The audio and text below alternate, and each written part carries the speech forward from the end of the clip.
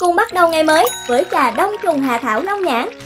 Anh Sơn mới vào độ tuổi trung niên mà cơ thể mệt mỏi, đau nhức, thường xuyên bị ốm, suy nhược sau khi bệnh nặng.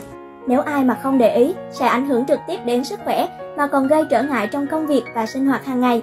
Tuy nhiên, sau một lần anh được bạn tặng một hộp trà đông trùng hạ thảo long nhãn, uống thì thấy thay đổi một cách rõ rệt, ăn uống thì ngon miệng, cơ thể thì dễ dai, tâm trí thì thư giãn tốt hơn.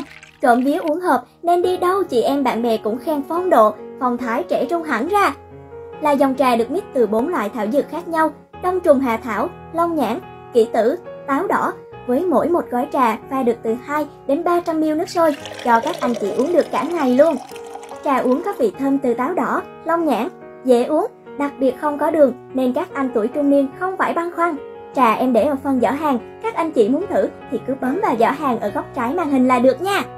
Sản phẩm này không phải là thuốc và cũng không có tác dụng thay thế thuốc chữa bệnh đâu nha.